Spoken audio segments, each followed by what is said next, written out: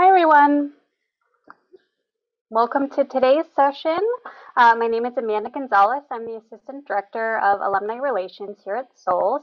Uh, and thank you so much for joining us today for our private practice panel for counselors and therapists. Today's event features two of our SOLES alumni who will share their experiences and insight as it pertains to running a private practice, specifically focusing on the business side of things. Um, so I'm going to go ahead and get started and introduce our panelists to you. Uh, and then they're going to share a little bit more about themselves as they're um, being introed or as um, they're speaking about themselves. Feel free to pop any questions you might have into the chat uh, and they'll have a chance to address your questions towards the end of our time together. First, I'd like to welcome Georgie Kelly. Georgie is a licensed professional clinical counselor who received their master's from the Clinical Mental Health Program at SOLES back in 2015. They are a non binary person who provides talk therapy and EMDR to their clients, almost all of whom belong to the trans and non binary communities. They also give educational presentations and gender related consultation to mental health professionals. They completed most of their pre licensed hours in private practice and have six years of experience in private practice alone. They are currently self-employed in a solo practice based in North County, Inland, here in California. Um, next, we have Cristina Trette, and she is a licensed marriage and family therapist and the owner of Integrative Family Therapy, or IFT. IFT is a small group practice in Encinitas that provides a relational and holistic approach to counseling parents, couples, and their families. Cristina received her master's degree in marital and family therapy in 2017, and she's a double alumna of USD, having received her bachelor's in psychology. She has advanced training in emotionally focused therapy, serves as past chair on the board at the San Diego Center for EFT, and is certified in perinatal mental health with the Postpartum Support International. She's currently training to become an AAMFT approved supervisor and has a special interest in collaborating with new therapists seeking to practice emotionally focused therapy and relationship focused parent education. Uh, thank you both for joining us today. Um, Georgie, why don't you share a little bit more about your private practice? Okay, so I'm trying to think of things I didn't cover in my uh, bio. I, I feel like I was pretty thorough, but um, yeah so i this was kind of my dream job i always always wanted to do private practice i always wanted to work with trans non-binary clients um, i guess at least oh i always wanted to work in private practice the trans non-binary kind of specialty came along close to graduation and so i'm thrilled that it kind of fell in my lap right after getting you know getting my master's degree and i i love what i do and I'm just really excited to be here and share my experience. Thank you. Cristina, did you want to share a little more? Yes. So I feel the same way as Georgie that a lot was already shared in the introduction. And I will say that I own a small group practice and called Integrative Family Therapy. We're based in Encinitas and it's also my dream job. I am so delighted that I'm able to have a flexible schedule and autonomy. And I've got some great therapists on my team. And I really, really love what I do. Awesome. Um, so now we're going to get into some of the Q&A from some of our pre-populated questions. Um, and again, to our participants, if you have any questions that come up um, that don't get covered, please feel free to put them in the chat and we'll ask them towards the end of the session. Um, so let's start with, you know, what made you want to go into private practice? We'll start with you, Georgie. Okay. Yeah. Um, yeah. As I said, like I, I kind of always wanted to be in private practice. My uh, experience as a client was only with therapists who were in private practice. So that was really the setting I was most familiar with. I think um, I I think growing up, I didn't even understand that like therapists worked in other settings, which is kind of funny. But um, just uh, yeah, so that was kind of my exposure to therapy in, in the first place, and then understanding that there's a lot of autonomy and kind of being able to set your own schedule and do what you need to do for yourself. Um, uh, really appealed to me. Not a business person at all, but um, you know, it was just it seemed like a good fit. And then, um, as I kind of said, the the dream job aspect fell right in my lap. I was asking um, who the person who became my supervisor for information about. You know, I'm approaching graduation. I'm looking at her doing you know gender therapy and and working in private practice i'm like oh that's my dream job. Tell me tell me more about what you do and how you got into it.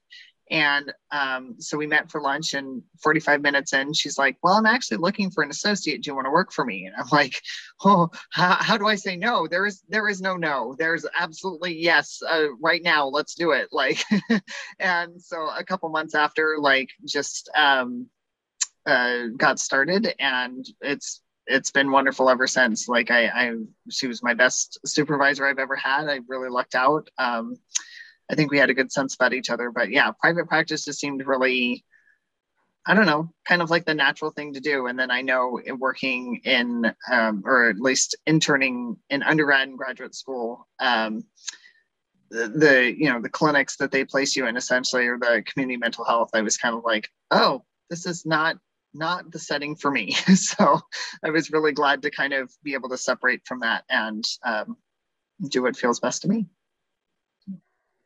Mm-hmm. How about you, Cristina? So, my first position upon graduation was a very valuable experience for me. And at the same time, the schedule was really hard on me. I had to work nights and it was far away from home and i was a single mom with three kids. And so i knew that probably the only way i could have a more flexible schedule would be to be in a private practice setting. So i sought out to find a private practice position as an associate and i was very fortunate that i was able to get one and uh, then I was able to have that more flexible schedule that allowed me to pick up my children from school and attend school plays and do the things that I needed to do and wanted to do as a mother while still being able to pursue my career. So uh, I think that really is what had me know that I wanted to be in private practice. And then from there, I discovered too that something that I loved about being in private practice was I could do the kind of work that I really wanted to do, and I could work with the kinds of clients that I really wanted to work with. I think there's good reasons to get other kinds of experience working with all sorts of populations. Um, I, am grateful that I had that experience early on because I think it, we all need that to be well-rounded clinicians. But uh, ultimately, I love being able to, you know, really f- work with the kinds of people and in the kind of setting that I want to work in.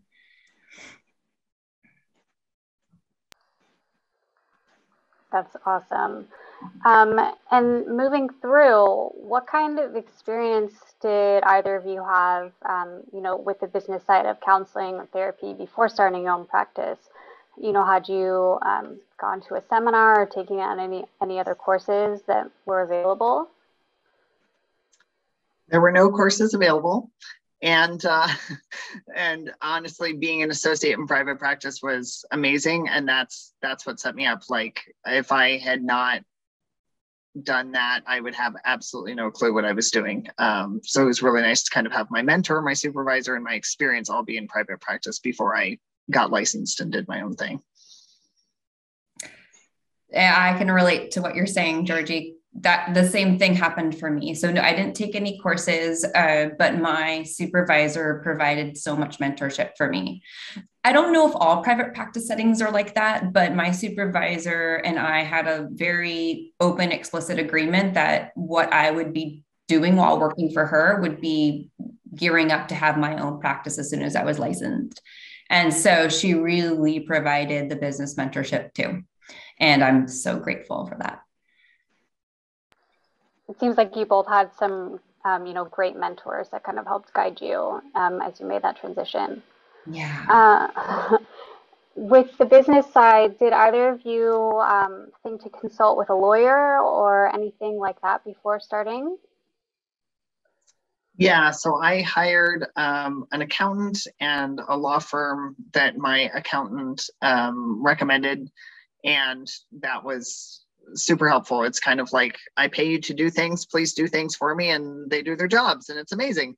Um, so I feel like you know my accountant provided guidance about like get a QuickBooks account, and here's a good payroll company if you're going to do. Yeah, I do an S corp, so that means I I go through a payroll system to to give myself the money that I'm making. Um, so he was great about you know kind of figuring out you know projected income and what to do with that information. And so anyways the and he said let the law firm i i think i signed like three things and they're like okay your job is done. We took care of everything else. And i'm like well that was easy. So definitely worth the money.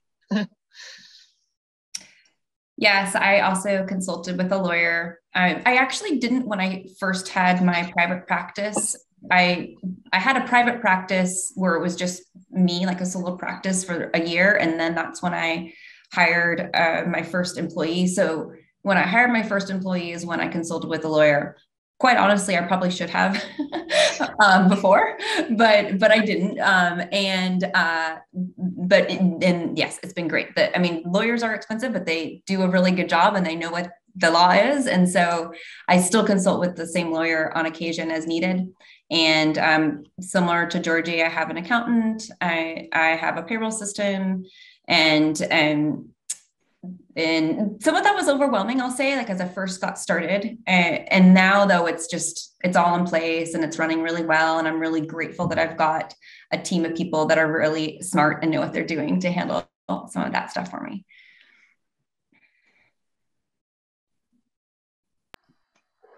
And about how long would you say it took you to get your private practice fully, you know, up and running from the time where you decided you were going to go for it and do that to when, you know, you had your first client, you know, officially under your new practice?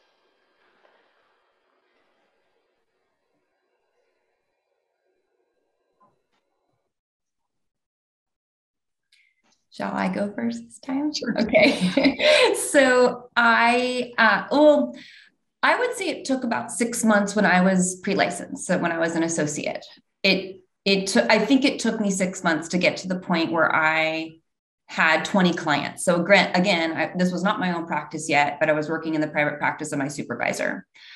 So I was really fortunate that once I was licensed, it was like 30 days later that I had my own practice. Um, I mean, it might have even been two weeks later. I rented an office. I got um, simple practice. I got a bank account set up. I just really, you know, went for it and got everything together. But I was able to keep all of those clients and bring them over to my own practice. So that part worked really well. Uh, and now, though, I'm you know in a different phase where I have therapists working for me, and I, it's not as easy to fill up other therapists' schedule. So right now, I'm I feel like I'm learning a lot about marketing, and I'm learning a lot about being a business owner at this time. And there's a lot to it. So it's challenging, but also exciting. Yeah, I think for me, it took, I mean, my supervisor has such a, a niche of, um, you know, working with trans non binary clients. And so at first I was kind of shaking anyone and everyone, which still wasn't very much. Um, I think to get, I mean, for one thing, so I don't see most of my clients weekly. Um, so and I, I, so i kind of have like a, a, very flexible schedule with my clients we kind of do every other week and we kind of reassess the schedule every time uh, just about every time we meet. So knowing my current caseload is different than knowing my current schedule. Um, by now like once i got licensed and actually became self-employed like i've had a pretty busy well especially during quarantine everyone's packed so it's been easy to kind of have a full schedule. So um, i mean just thinking about kind of how much um, so like 15 clients per week is about average has been about average for me uh, throughout the quarantine. I think I realized recently I have about 30 clients on my caseload.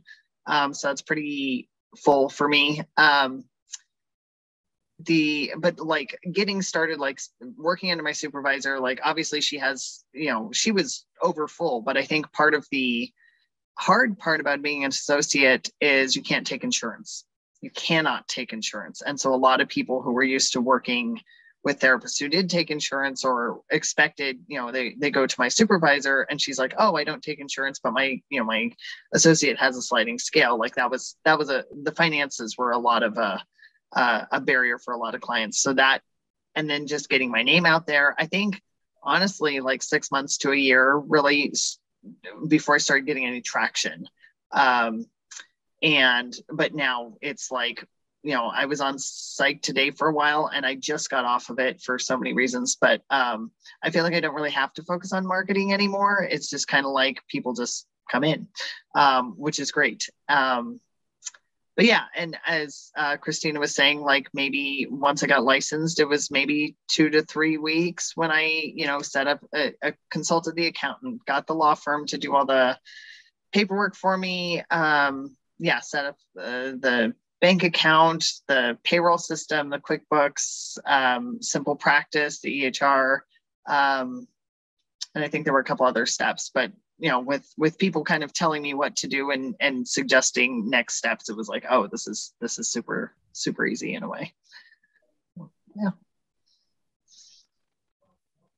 Do you have to have any kind of separate licensure to be a private practice versus a group practice or anything? No. No, no different, no, no other license is needed or anything to be a group practice owner. Um, I just, but there's just employment laws to follow. And again, that's where the lawyer has been vital for me. Uh, and some mentors, people that I, I've got a great group of uh, group practice owners that have been owners for many years, and I we meet regularly and I can ask them all my questions. But that part's been vital for me. Mm-hmm. Having having a great lawyer and having seasoned group practice owners that I can go to with all my questions. So mm-hmm. Yeah, I was going to say I like I can't be a supervisor until 2 years in and that's uh, definitely my goal. So I've been licensed for barely over a year. So next year hopefully I will be um, uh, supervising because I absolutely adore the idea and I'm super looking forward to it. But that doesn't require anything like separate necessarily, except for just the experience and some specifics to use to become a supervisor. But honestly, when you originally posed the question, Amanda, I was thinking like, oh, a certain business structure, which I have no idea. Like, I, I now I'm curious, Cristina, what kind of like are you an S corp? Are you? Yeah, yeah. I am an S corp. Yeah. Okay. Cool. Or uh, um, for, so MFTs. I don't know if it's the same for for um, LPCCs. Is that what you are? LPCCs? Yeah. Yes. Okay. Um, so we, I have a professional corporation, a marriage and family therapy professional corporation. Okay. And it's that is required to be to incorporate as an MFT. We have to go that route. I'm not sure if it's like that for the other disciplines though. Yeah, I wasn't sure. I think I've heard okay. of that vaguely, but anyways, that's more logistics than we need to get into at this moment. but thanks for the insight. Good to know. Yes. Definitely. Um, and in terms of location, how did you decide where to open your practice? Um, and in these times, what are your thoughts on, you know, doing um, telehealth? Did you start with doing telehealth before the pandemic hit? Where are you with it now? So I I really wanted to work close to home. And um, so, as a pre licensed therapist, uh, when I was in the private practice, that office was very close to home in Encinitas. And then I also knew that I wanted my office to be in Encinitas. And so, the office that I have, it's in Cardiff, which is just a neighborhood within Encinitas. And uh, it's just a single office, even though there's four of us therapists in the group. And when the pandemic started, I moved 100% to telehealth, but I kept the office because I was in a lease. And then that's also when I started hiring. So I do have one therapist that works for me that's in that office full time. And uh, he actually had a fairly easy time filling up um, partly I think because of the pandemic, but then also partly because there aren't very many people offering in-person counseling right now, and he is. And so Um, I'm still doing everything telehealth, and the two other therapists on the team also are doing telehealth. But my goal is absolutely to return to the office setting. I think for me, though, I'll be doing a hybrid. And right now, I'm, I'm actually in process of looking around for a bigger office. And I for sure will stay in the Encinitas area. Um, I can see pros and cons to working in the same town that you live in. I think for some people, it might be nice to have a little bit of distance just for confidentiality and uh, having maybe a, a, be- a, better separation between work and personal family life. But for me, with just how busy I am and having lots of kids, being close to home and close to their school is super helpful. So, um, yeah, I plan to stay in the Encinitas area forever, both in terms of my where I live and where I want my office to be. Yeah, so I, just starting out in private practice as an associate, you do have to work in the same office or have the same like business address essentially as your supervisor. So, um, being in uh, working with the queer community at all, guess where your office is? It's in Hillcrest. Um, so at least in San Diego. So um, I was I, I live in Rancho Bernardo, and um, so that was kind of a commute for me. But it was uh, obviously like I would commute just about anywhere for my dream job. So, uh, you know, my supervisor worked in Hillcrest, so I, I commuted to Hillcrest. During the quarantine, um, we shifted to completely telehealth, of course, and um, so my supervisor gave up the lease like a year and a half in because we're like, who knows when we're going to go back. Um, so after that point, I got licensed. I started, um, you know, my own private, my own practice then got an office um, in Rancho Bernardo, thankfully a much shorter commute. Um, and I did that in August. I've been offering in person since September, about, well, until I started taking on new clients again after that, which a lot of people are seeking in person therapy. So that's kind of a unique thing right now. Um, uh, until I started taking on new clients that were specifically seeking in person, I probably had maybe two or three clients coming in in person. Um, and uh, you know, for a lot of people, I think some of the factors were that it's more convenient. But not only is it more convenient, I moved you know half an hour north. Uh, office wise and so it's it's more convenient for me but a lot of my in-person clients previous to quarantine um, were expecting me to kind of stay in the same area. One of my potential goals is to have like two office locations but now i'm like now that i'm working alone and i'm like oh that's so much. And also coordinating like which clients would would see me where. Um so that's another thing but yeah i, I kind of wanted to stay in hillcrest once we gave up the lease. I'm like oh shorter commute. Heck heck yes. So um anyways, yeah, I think I think it's subjective. I, originally, I loved the Hillcrest location mostly because oh, I'm not going to see my clients at the grocery store, um, and also so that separation, but also um, uh, just being closer to the queer community, kind of queer queer central um, in Hillcrest was kind of nice um, and convenient for a lot of people. But now it's like I, you know, I'm I'm in my office more than my clients are. I kind of deserve a shorter commute. So yeah. Definitely. Cristina, you mentioned that you do have employees um, working for you and with you. Georgie, do you have anyone working with you? No, I, I don't. Okay. Um, so, Cristina, do you only have other therapists or do you have like um, an assistant or anything like that too? So I have three LMFTs that work for me, and I have a care coordinator who's also like she's she's our care coordinator, and then she does uh, um, like um, gosh, we call her practice. I don't know. I'm fumbling on this. A practice assistant. so she she answers the phone. She returns phone calls. She returns emails. She helps me out with social media, and she just really supports all of the therapists and all incoming clients. She's amazing. and let's talk a little bit about insurance. Do you all accept insurance? How do you kind of navigate that? Or maybe you've left it up to just your lawyers to kind of deal with that? Uh, I refuse to work with insurance for about 3,000 reasons. Um, I, I think before I got licensed, I was thinking that, you know, I would have a kind of access to more referrals. I would build a caseload. If so, before getting licensed, no insurance company would work with an associate. Once I got licensed, I could work with insurance. However, um, the yeah just so many logistics in that and i am full currently so having more referrals is like i don't need that and i don't need the headache of working with insurance so i just i have kind of a sliding scale. So yeah. Yes uh, we also do not work with insurance. I i think again sort of similar to georgie. I i actually thought i would take insurance but then when i filled up i realized i didn't need to. And it's something i contemplated when i became the group practice but even then uh, after having spent a fair amount of time looking into it researching even getting very close to beginning the process i hired a biller and we started going down the road of uh, getting credentialed, I decided to stop and not continue with that.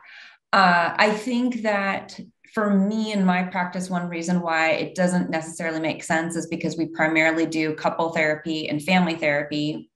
We aren't doing much individual therapy at all, and uh, it's it's harder to get reimbursement for couple therapy and family therapy because it's not we're not actually treating a mental health diagnosis. Uh, so it really works well for my practice. I also think, though, I'll just say this that I think it's great when people can utilize their health insurance to get counseling and therapy. I think it's important. And I've been able to create really great relationships with other practices in San Diego. And when people call us needing insurance, I refer them to those practices. And then I feel good knowing that um, the folks that want to go through their insurance will still have a great therapist that they can go to. So, yeah, that's where we're at with insurance. Thanks for sharing that. I think someone on the outside or, you know, who doesn't have experience in this wouldn't really consider all the different ins and outs of things that you guys have already dealt with. Yeah. Uh, in terms of fees, how do you come up with your fees and your rates and how you charge people? Yeah, so um, starting in private practice as an associate, I charged a very low fee, a very low fee, and I would slide even below that. Um, especially, you know, not being able to work with insurance and trying to get your name out there and trying to, so kind of a lower fee is a good marketing technique in some ways of like, um, just kind of getting, for one thing, getting experience, but also getting um, people to, I don't know, show up at all. Um, so um, now, and about every year, I think that I worked in private practice, I did raise my fee, um, but I still slid pretty low. Um, so now that I'm licensed, I raised everyone. Um, all my all my clients had an increase in fees um, when I got licensed. And recently I raised my fees again for all my sliding scale clients. So that, now I have a smaller range of sliding scale and that feels better to me. I have the current standard, like kind of standard fee for compared to most master's level therapists in the area. And I feel pretty good about that. So. So I feel like fees has been such a journey for me. I I also when I was an associate in private practice, the fee was low, and then I did sliding scale, and uh, it and, and it was great. I mean, it was great. It was partly how I was able to build a caseload. And more recently, though, I've gotten a little, well, a little bit like we just we have a set fee and then there's one reduced rate that we'll offer too for people that need a reduced rate. Uh, the way that I was able to establish the rate that we're currently at is I looked into other practices in San Diego. I really just went to their website for anyone that was offering emotionally focused therapy, couples therapy, which is the primary offering that we have. And I looked at what other people were charging, and then I charged like somewhere in the middle. And it's worked, that works well for me. And um, I do think it's something to put time and energy into when you're starting And uh, I also think it can be really helpful to just get super clear about what it is that your fee is, and then to hold hold it. And uh, that's one thing I wish I had done earlier.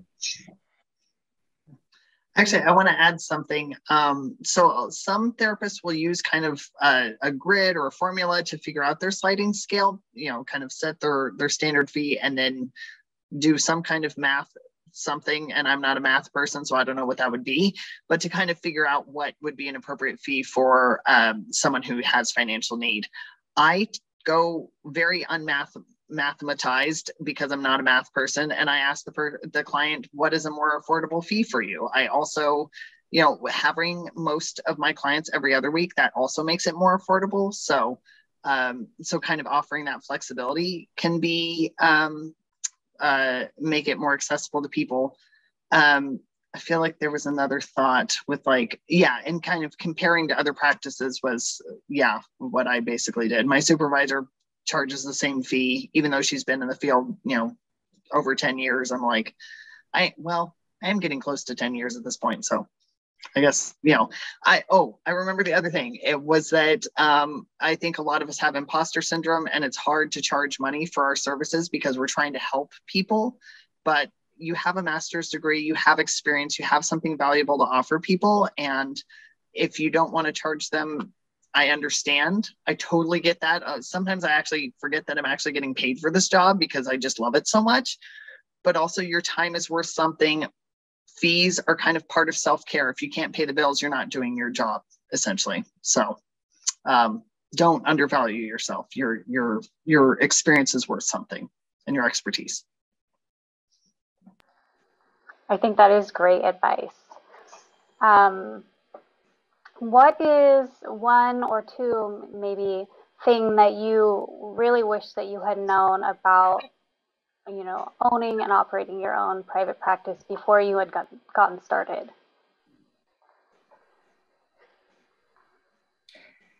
So for me, when I started, I was not expecting to have therapists working for me.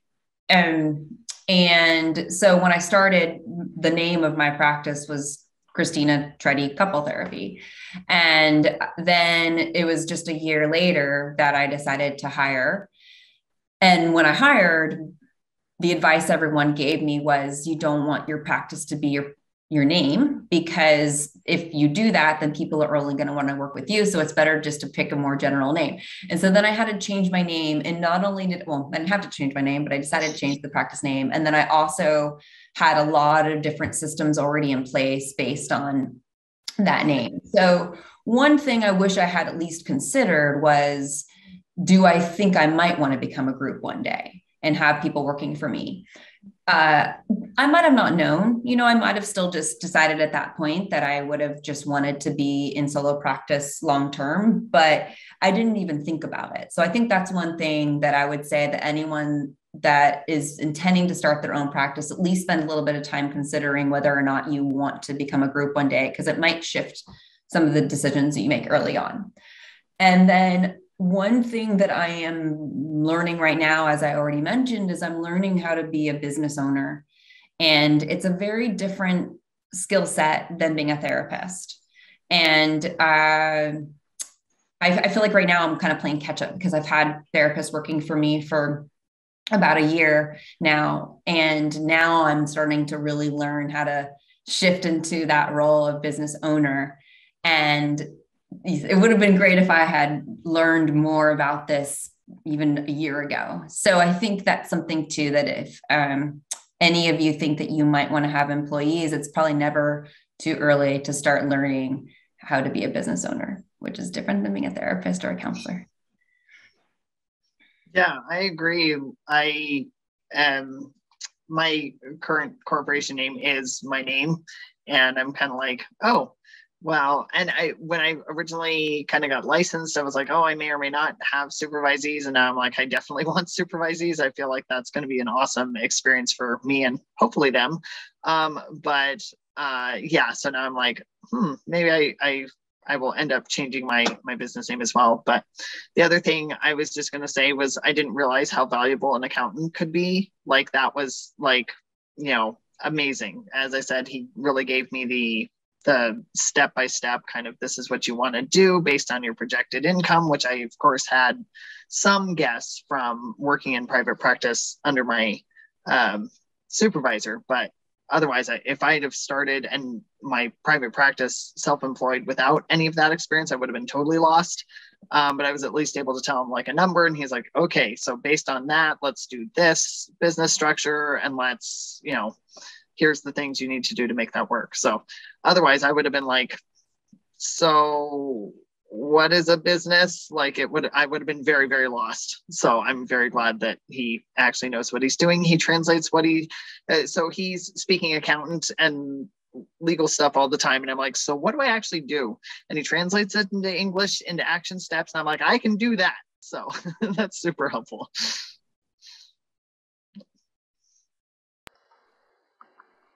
thank you for that i'm sure our participant participants appreciate that um, and then tying it back into SOLES and your education from here, your alumni, um, is there anything from your time at SOLES, any classes or connections that you made through and networking that helped prepare you to run your own private practice?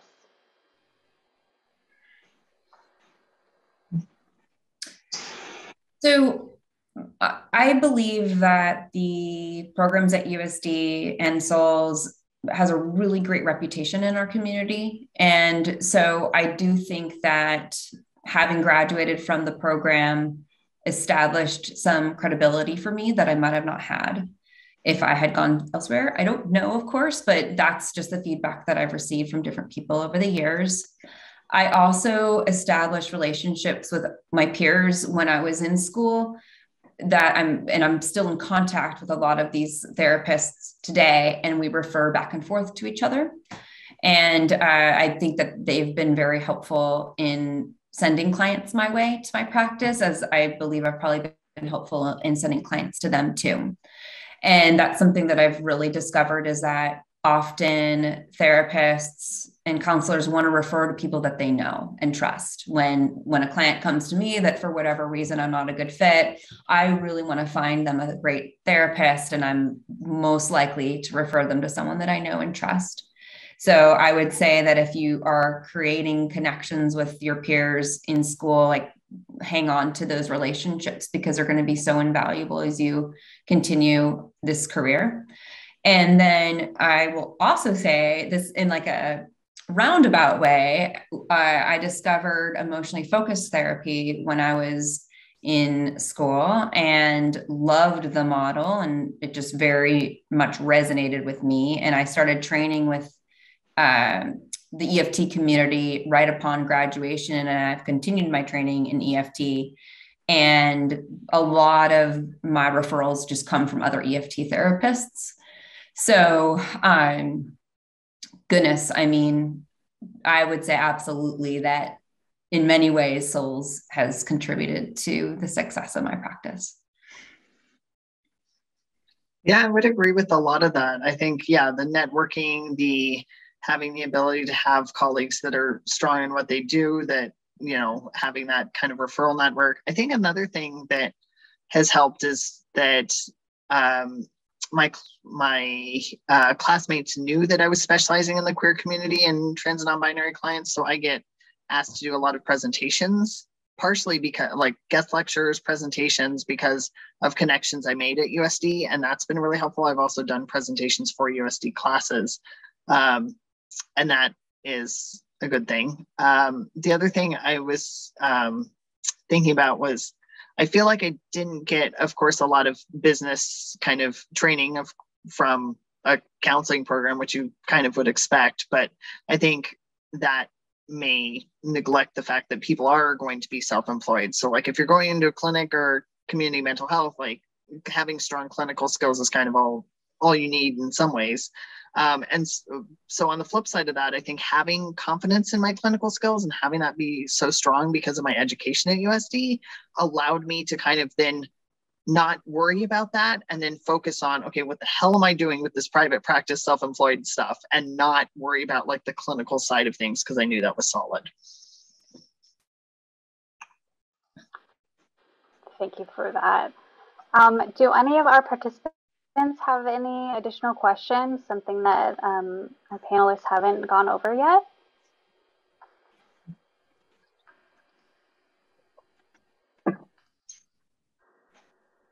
I have a quick question. Um, do you have any tips for like postmaster's jobs? Like I know you said you guys both worked with or like worked in a private practice setting, but do you have any tips on like finding a job like that? Or is it just kind of like networking? It's definitely networking. I mean, in my experience, like I had I, as I said, like I was, you know, interviewing a couple people in the community that had my dream job, and I was like, okay, someday I'm gonna get there. But um, yeah, so and I got their names from other people in the queer community or connected to the queer community. So I that was how I kind of made those connections. But um, and I lucked out that Darlene happened to be looking for an associate at that time. Um, but honestly, like I stay connected to USD partially because I want to supervise. Like I, I'm part of the Mentor Collective program.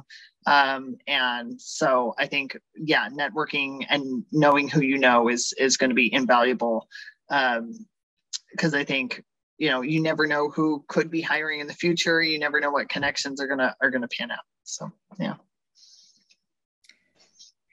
Yeah, and I'll add to that a little bit that um, you can definitely find company or you know private practices or group practices that are hiring pre-licensed therapists and i think people will put ads on indeed for example that's a good place to look but uh, also i think you can be bold and uh, reach out to someone if there was someone that you felt like they had the niche that you were interested in pursuing, or there was a particular model that they practice that you're really interested in, I think being able to email them and introduce yourself and uh, open up the conversation, it could potentially lead to a job. You'd probably be more likely to have that kind of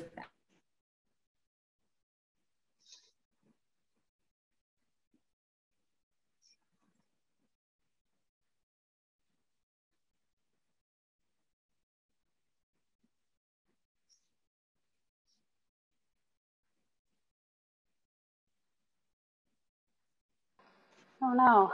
It oh no. For us. yeah. Oh goodness. Yeah. While we wait for her to come back on, does anyone else have a question?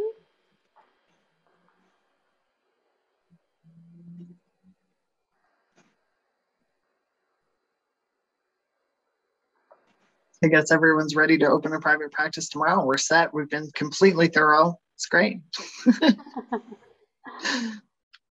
I think it's been a really helpful and insightful, uh, especially someone like myself who has no experience um, in counseling or therapy uh, knowledge whatsoever. Um, it's been really eye opening for me.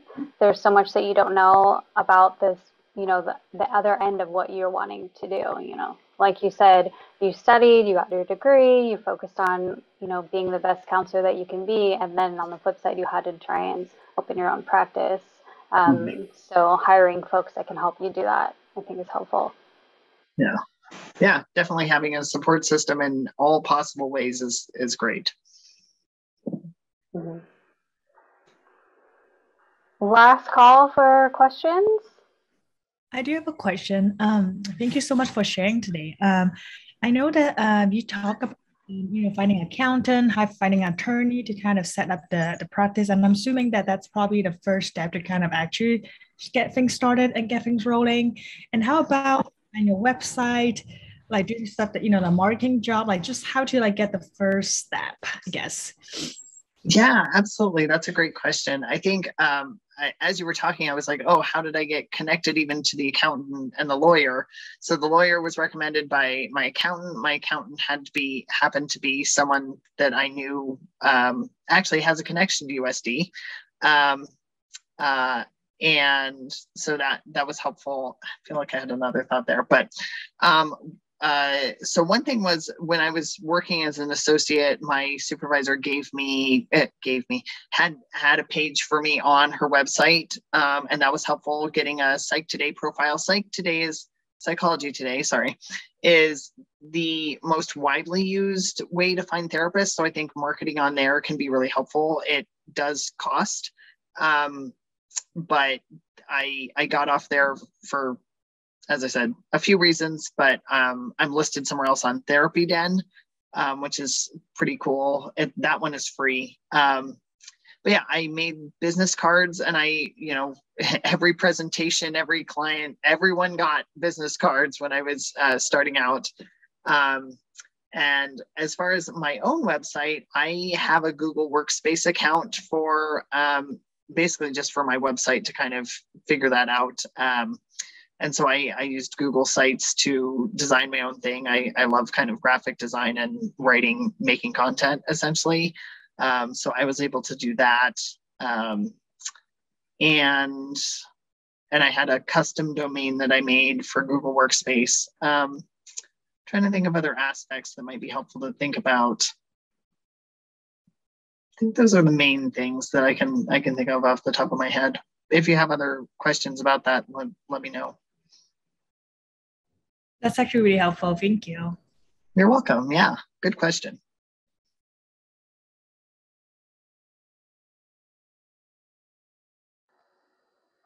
Anyone else? This may be like a weird question. Um, actually, now that I'm thinking about it, it's kind of like a multiple part question. Um, but I I've heard that like usually with private practice, um, if you're not taking insurance, you don't necessarily need to diagnose. So I guess kind of like my first question is, mm-hmm. do you diagnose? Um, and then also, I guess my next question is, um, like, what do you use for like, uh, like all your documents and client, um, I don't know, I guess just like client documents and stuff like that. Like, what do you use to keep that all organized? Absolutely. So my supervisor used a different um, EHR or electronic health record, but I use Simple Practice, which I've been super happy with. Um, uh, so yeah, so uh, there are EHRs out there. There's several options. Um, it's good to um, kind of figure out what what feels best to you. Um, you know, some have features that others don't. Some have telehealth integrated. Some don't. Uh, sometimes it's an add-on just thinking about what you want out of you know kind of client documentation what do you want to have um, available to you? Um, as far as the first question yeah so i i loved my diagnosis class in graduate school. I loved my you know abnormal psych in undergrad and now i'm like why would i diagnose in some ways? Um, so i'm kind of anti-diagnosis at this point in my career but um, and since i don't work with insurance i don't technically have to have well so for insurance, you have to have, you know, a documented diagnosis. However, like ethically and clinically, you do need to document some kind of thing. Um, so uh, I I do use adjustment disorder quite a bit, but also I, I kind of use like major depressive disorder, generalized anxiety disorder quite kind of frequently, just have something on file. But you know, presenting concerns can be all over the place. And so I think um anyways, more clinical side, but essentially, um, for me, I, I don't I don't really rely on diagnosis, and since I don't have to document like anything for insurance, no one's like checking my work. Essentially, I just kind of put broad categories. Thank you. You're welcome. Cristina, I don't know if you want us to restate the question or to add to anything. Sure. If you could restate the question, I'm sorry, my Zoom just shut down for some reason. So, but I am back. Yeah, I think the question was kind of client documentation, how we keep track of all those things. And then also, if diagnosis isn't required for insurance, what is uh, kind of how do you handle that if you don't work with insurance? Yeah. Okay. So I use Simple Practice. It sounds like you do as well. And it makes documentation very easy.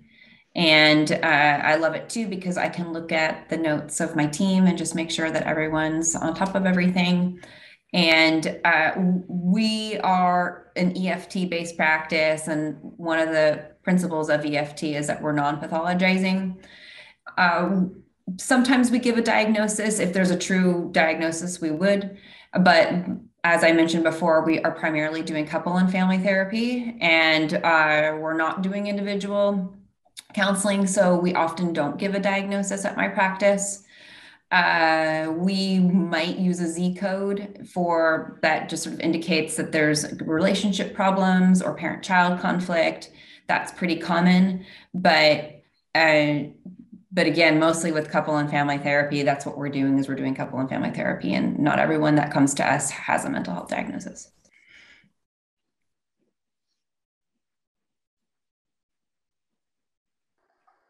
Cristina, did you want to go back to the previous question? Sure. Yes. And again, I'm, I was so sorry. Um, so yes, I was um, I was teaching this parenting course at a at a yoga studio, and the an owner of the studio asked me if I was interested in renting a room. I explained I couldn't. And he also asked an LMFT, who is the woman that became my supervisor. And the way that worked was the three of us all came together in a meeting and I explained where I was at in my career and that I was working at an agency at that time, but would love to have the opportunity to work for her and she and I had a couple more conversations, and she ended up renting that space and employed me. And I was able to work for her. And in that setting, I was also able to run groups and teach workshops. So it was it was really a dream come true for me. And I think if I had not really gone for it, it wouldn't have happened. Uh, so meaning that like I um like when the owner of that studio approached me and the other therapist, I was the one that brought up the idea of me working for her as her associate. Um, she didn't just come up with that idea on her own. I really put myself out there and it all came together and so I guess my point in sharing that is that I think it's okay to, to do that. And I would encourage you all, if you're interested in working in a private practice as a pre-licensed therapist, to see if there are people that maybe have the niche that you're interested in and just reach out to them. You never know what can happen. It seems like that worked out for both you and Georgie in these situations. Yeah. Anyone else with any further questions?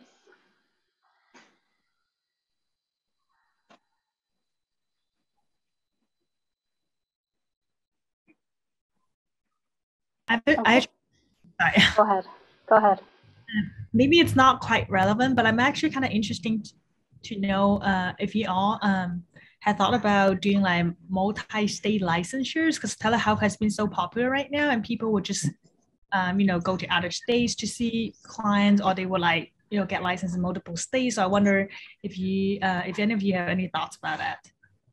I have definitely considered it. I've had three or four clients at least over the quarantine move. And I think at least two of them went to Portland. And I'm like, ooh, if I got licensed in Oregon, I could still follow my clients because I absolutely uh, adore. I, I was really connected to those two. Um, anyways, so I have considered uh, that specifically, but also I have to consider my own boundaries and to be licensed out of state, you do need to. Uh, the NCMHCE that we take in California does cover a lot of other states for licensure, so you don't have to take the NCE as well for some states. Um, so Oregon specifically has a lot of good reciprocity there, and but you do have to keep up with, of course, their CEU schedule and their like you know licensing renewal fee. So, and it seems like it's easier once you've been licensed for two to five years to get that reciprocity in other states. So, yeah, I've looked into it. I've I've thought about it, and there might be a time in the future that I would do something like that. I think for me, my hope is to really get solidly established in Encinitas and really become a place where it becomes a part of the community offering and um, especially too because we're working with families and couples and i've got i've got children um, at the age that a lot of our families are coming in And right now, too, I'm beginning to do more networking and relationship building with allied professionals in the Encinitas area. So the way I see things going is moving into a bigger space in Encinitas and still providing telehealth just so because it's convenient. And we do get folks from other parts of California, absolutely. And I love that we can do that. Uh, but I think for me, I'm really wanting to stay local, but you never know. it, I also never thought that I would have people working for me, and I do. So it could change. Thank you.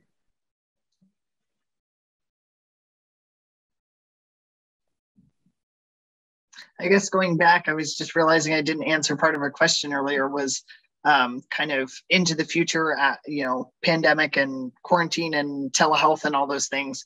Um, so pre-pandemic, I had never done a virtual like online counseling session, and now obviously I I do it all the time, and um, uh, I definitely want to continue telehealth forever essentially. So i think that also contributes to my like willingness to look into other states um, to get licensed. And you know i i was i was terrible at video chat. I was actually i shouldn't say i was terrible at i was terrified of video chat for any reason before um before the pandemic. And now i'm like oh this this is you know super comfortable and I get to work at home and that's that's great. So um, telehealth has just been kind of revolutionary in in my life and I've really appreciated kind of being forced into it because now I see how good it is for me and my clients.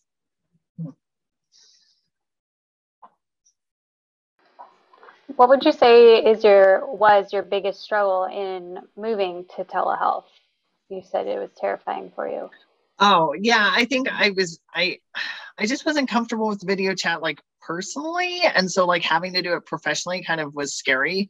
Also trying to figure out like where am I going to have a good background and how am I going to have a good chair? And like just working from home all of a sudden was kind of a, you know a different thing. And so I think telehealth especially since it was like oh we're going to do this for 2 weeks and we'll be back you know it'll be fine.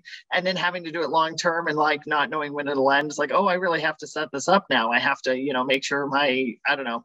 So I think it was just an adjustment working from home and having clients like in my home essentially you know like my home is not well, it's not set up for clients in so many ways. And so just having that kind of um, different dynamic um, was was an adjustment. I also, I this is kind of a side note, but I hug a lot of my clients, and it's been really sad to not hug my clients during pandemic times. So, yeah, that was an adjustment too.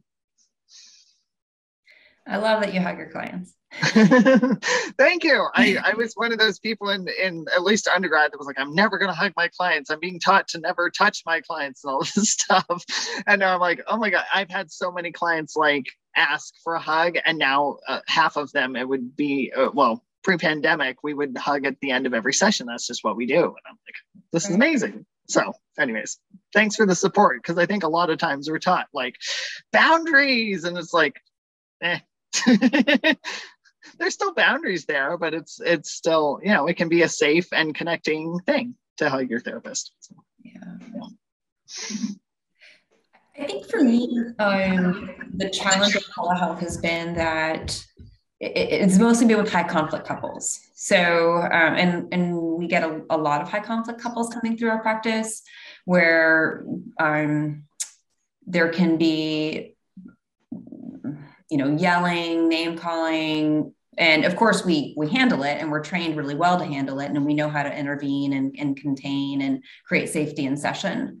But that's been probably the hardest thing about seeing couples over telehealth because when we're in the room with each other there's something i think just about my physical presence and my ability it's almost like i feel like i can get in between them even if i'm not actually really getting in between them.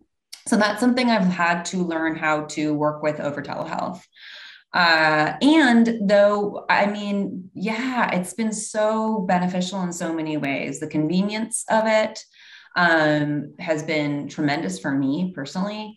And then also, I think for a lot of couples, who maybe wouldn't have done couples therapy before because they have such busy schedules now they can even be on their lunch break at work and one person can be or one person could be at like their office and someone else can be at their office and then we can all come together. And that's something that never could have happened before. So there's definitely parts of it that i love and that i think have been really beneficial that i don't ever want to let go of. And then there's elements of it where i'm excited to be back in an office setting with them soon do you find that the majority of your couples doing telehealth are on their own separate screen or, you know, in their own different rooms, or are they on one in one room? The majority are in one room. And I do also recommend that they're in one room just because part of what we're trying to do is create that connection and closeness and bonding and have them be together. Um, and I think they get more out of out of the work if they're in the same space with each other. And though at the same time, if it comes down to like no therapy at all or therapy but in different locations, I'd rather they be able to have have the therapy but still do it from different locations.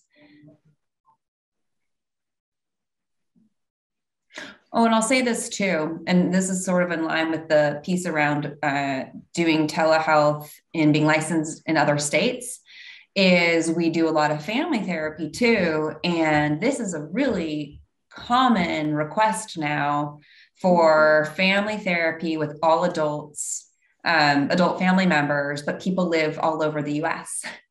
And uh, it, I think there's a lot of families actually that have struggled through this pandemic for all sorts of reasons, and they're wanting to do family therapy, but they can't find a therapist that is licensed in multiple states. And so now they're going without the family therapy, which is really unfortunate.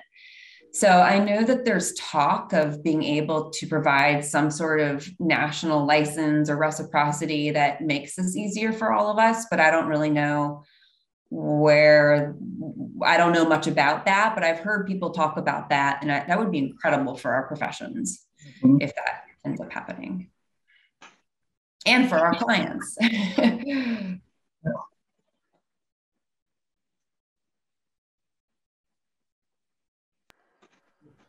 Another last call for final questions.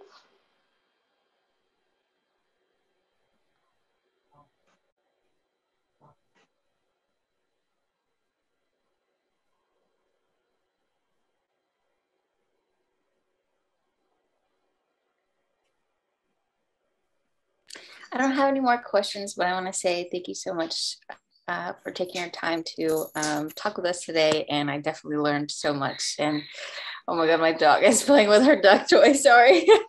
um, and uh, yeah, so I just want to say thank you so much. I definitely learned a lot. I'm glad to hear that. Yeah, that's awesome. You're welcome. I'm happy to be here with you all too. Yeah, I also wanted to thank you so much for um, um, to share your experience with us today. Um, I definitely learned a lot.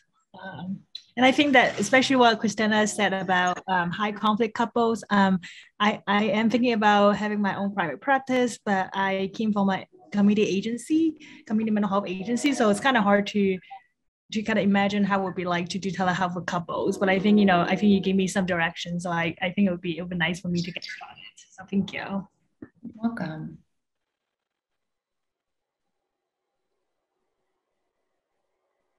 All right. With that, I think we'll go ahead and wrap up today's session. Thank you so much for joining us. Uh, if you have folks that you know that weren't able to attend or that um, didn't register and were still interested, we are going to be putting the recording up on YouTube in the coming days. Um, so you can refer them there uh, and we'll also email it out to all of the registrants, especially for those who couldn't join us today. Um, Thank you so much to both of you for participating in the panel. It was so insightful, I think, and very helpful for, um, it looks like mostly students joined us today. Um, and I know they appreciate it, and I'm so grateful as well. Well, yeah, you're welcome. This was a great experience. Glad to share what I've got. Me too. I appreciate the time with everyone today, and I'm also appreciating the questions that you asked. Thank you so much, everyone. Have a good night.